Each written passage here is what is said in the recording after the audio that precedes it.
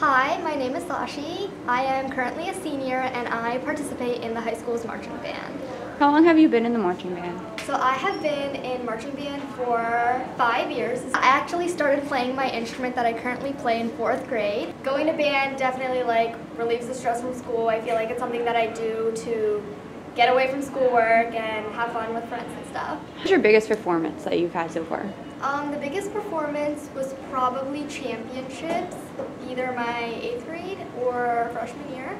Is that your favorite one that you've had so far? Yes, my favorite show was actually my first year, which was in eighth grade. It was Jesus Christ Superstar. It was a great show. Have you ever traveled far for the band? Um, most of the times, the farthest we travel is like around an hour. Like, like how football players go to their games, we go with them. Have you had the same instructor throughout your years, or No, actually, my first two years was a different instructor. It was actually Mr. Innes.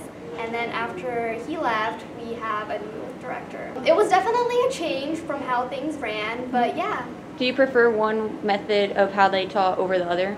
Um, not really. Most of the things stayed pretty similar. What do you want to do when you finish high school? Um, after high school, I plan to pursue a career in physical therapy.